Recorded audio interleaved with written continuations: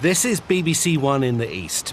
Now the BBC News with Ben Brown and Louise Priest at one o'clock.